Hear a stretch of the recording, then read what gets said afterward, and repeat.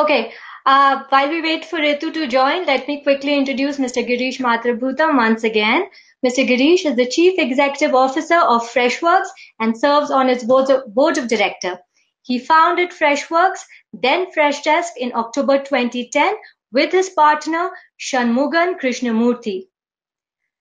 Girish has earned his MBA in marketing from the University of Madras and his BE from Shanmuga Arts, Science, Technology and Research Center. And sorry, Research Academy. Before founding Freshworks, Girish was the VP of Product Management at the Ma- Manage Engine division of Zoho Corporation. He has joined Zoho Corporation, then AdventNet in 2001 as a pre-sales engineer. Girish has been building on-premise help desk system since 2004. A very warm welcome to you, sir, and I'd like to hand over the stage to you now. Thank you. Thank you, Pratima. And uh, hello, everyone. So um, let me quickly go ahead and share my screen. So good morning, everyone, to all of you in India. I'm uh, coming in live from uh, San Francisco, California. And my name is Girish Mathrubootham. I'm employee number one at Freshworks. Uh, quickly, Freshworks is a next generation CRM and customer engagement uh, software company. And, and uh, our vision is to enable every business to get and keep their customers for life. I hope all of you are safe during these uh, COVID times and, and uh, hope your families are also safe. So, COVID has changed our life so much and the nature of work so much that I'm here today to talk about the future of work.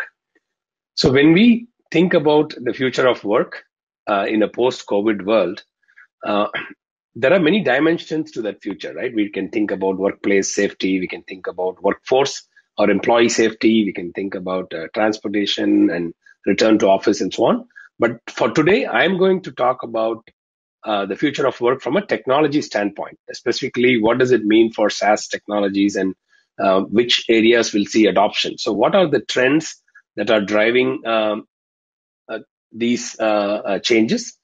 Some of these trends we all know, but which technologies are going to benefit from that? So I'll keep it uh, short, and, and I will have probably another 14 minutes to go through this. So we all know this, right? so work from home is the new normal, right? And uh, and we don't even know till how long. And every company that had uh, or did not have a work from home policy will now have to have a work from home policy, right? Now, how, what does this trend change? And this is massive, right? For uh, like, uh, how do you work from, for me? I think it's going to move from work from home to work from anywhere. Once uh, the travel restrictions are lifted, uh, people are going to want to go away to some place and then uh, work, right? Now, what does this mean for businesses? Uh, how do you enable a work from anywhere employee, right? And how? So this is where businesses have to ensure that we truly have a digital workplace where employees get everything that they need from the company uh, from at, at, the click of a button, right, or at the at their fingertips from a browser.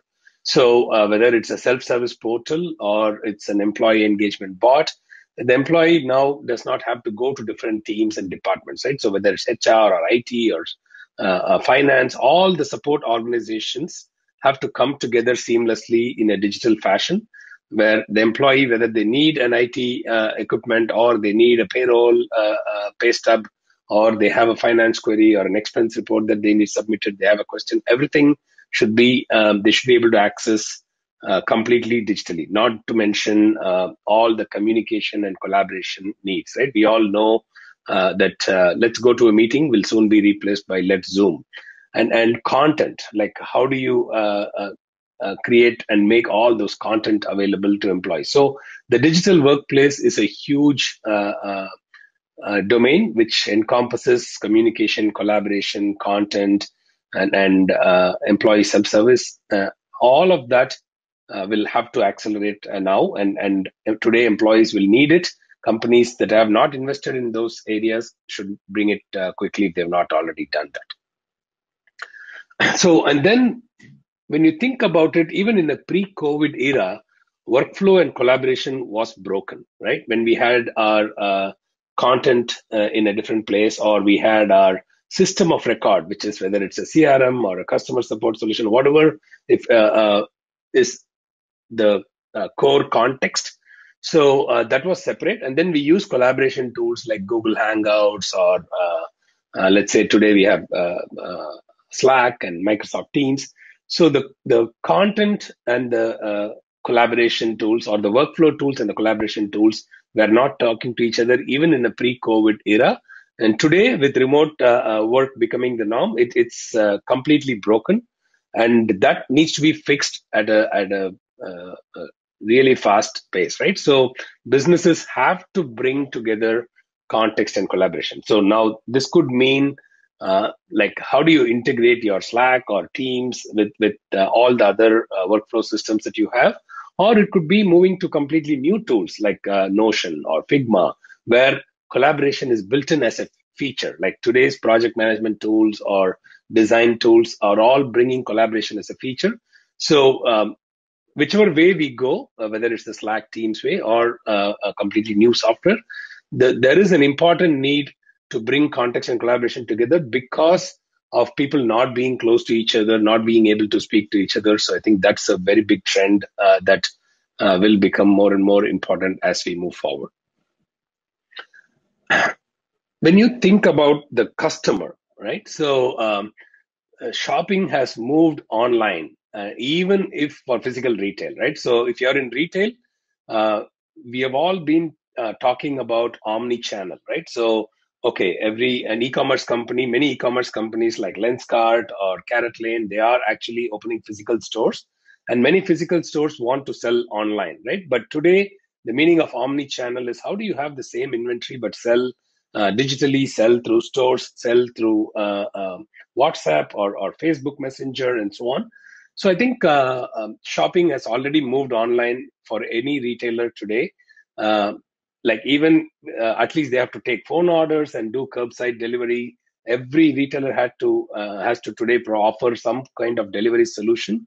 So so the world changed. Uh, uh, even it, it is almost we can say that um, businesses are being dragged to move to this new omni-channel mode, right? And and when you want to service this customer uh, so how do you quickly move uh, from uh, single channel to omni-channel? I think we are now leapfrogging uh, the uh, traditional journey of how US uh, companies moved from single channel to multi-channel to cross-channel and then finally omni-channel. I think Indian businesses can actually leapfrog this movement and directly go to an omni-channel solution, right? Where you can sell your products uh, in physical stores or through email or phone or uh, through a digital uh, through a Shopify uh, e-commerce store. But more importantly, uh, when you have this um, uh, omni-channel customer, how do you actually take care of this customer? This is an important aspect, the CRM of the future. So businesses will need a CRM system that can deliver on the promise of customer 360 and this is something that the industry is moving and and to, uh, pretty soon all businesses will start demanding the ability to track uh, every aspect of the customer conversation or the order or the events and activities that the customer has performed on the website. So there has to be full visibility of the customer. So this is uh, something that's going to get accelerated as we see uh, uh, life after covid. I think uh, businesses will want a customer 360 solution soon. So okay marketing right? Uh, like i would say in freshworks we have a digital marketing team. We had a digital marketing team and we have a field marketing team. The digital marketing team was spending on google adwords and other online campaigns and trying to bring traffic to the uh, website whereas our field marketing teams were actually doing uh, events globally um, physical events conferences user conference and so on. But today uh, our field marketing team is running more, uh, almost 20 uh, webinars virtually every month, right? Like uh, a conference that we are uh, similar to what uh, Entrepreneur Magazine is doing right now. So all conferences have become virtual, right? So so field marketing has now become digital marketing. So every business today, you cannot be waiting for business to resume. You have to go out and engage customers through online events. So do you have the right software that helps you conduct those virtual events? And it's not just about conference software so today, our field marketing teams are almost producing Netflix like content, like customer interviews, which are deep, and, and making it like a movie and, and releasing it. Because today, everybody is doing virtual events, right? So you have to uh, provide original content that is rich, and and uh, in order to engage deeply with customers. So um, uh, the world of marketing, as we know it, uh, can change forever because once uh, these field marketers taste success with digital, they're going to actually realize uh, how much more efficient this is, how much more cost like economical this is, and and maybe this is going to stay. Like uh, so field marketing is also digital uh, now. So if you look at uh, uh salespeople right? So we all know that uh, uh, there are inside salespeople who sell from a telephone like sitting in an office and do zoom calls and sell like we have an smb sales team like that at freshworks and then there are enterprise salespeople who are there in the field meeting customers face to face but imagine this right today every enterprise salesperson is now an inside salesperson, right? They have to learn how to uh, uh, sell through phone calls and, and Zoom demos and so on. Uh, and and uh, all the golf courses and, and, golf tournaments have now gone virtual, right? So you have to uh, try to sell virtually. I was actually invited uh, um, for a virtual wine tasting event by SAP. So I think large enterprises are now figuring out how to uh, change enterprise sales into a virtual uh, motion right? So it's hard. And and but as a business if you have enterprise salespeople you have to be thinking hey how can i retrain my sales folks? Like do i have the right sales enablement platform? So do i uh, like if, if we see opportunity in certain segments how do i quickly train my entire sales force so at freshworks we trained almost uh, we have more than 1000 uh, people in our sales and pre-sales teams so we had to quickly retrain them to kind of go after uh, the omni-channel customer engagement opportunity, right? So, so you need to make investments in those areas. Uh, so that is an area which is going to uh, grow even uh, further. And then, uh, if you think about deals, right? Today, one of the areas that is slowly gaining mass adoption is a very niche area, right? So it used to be something that many businesses have many still don't have a full-fledged document or, a, or a, uh, it's called a system of agreement right? The entire workflow around contract management and e-signatures. So i think that's getting accelerated as we speak. So uh, uh, businesses are uh, quickly moving on to this and, and uh, all deals are now being closed virtually so uh, the system of agreement is, is going to see a huge adoption wave if, if you have not i think it's time uh, to quickly put in place a solution to manage the entire uh, workflow of uh, uh, signatures and contracts. So I think um, that's predominantly what I have wanted to share in terms of what technology areas we are seeing adoption. And I think Microsoft CEO Satya Nadella captured it beautifully.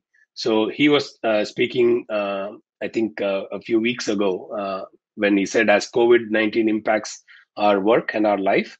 Uh, we have already seen two years uh, worth of digital transformation in two months, right? So, so that is what is happening in the world right now. So, if you want to look at it as a positive, if you're in uh, SaaS, if you're in technology, so I think what we are seeing is an acceleration, right? Uh, so, the uh, employees being at home, customers not being in the store, uh, is accelerating the demand for businesses to transform themselves digitally whether it's sales or marketing or uh, employee engagement. Uh, so every aspect of the business is going through digital transformation, and we are moving towards a world where we will see more and more um, uh, faster adoption of uh, SaaS as well as digital transformation technologies.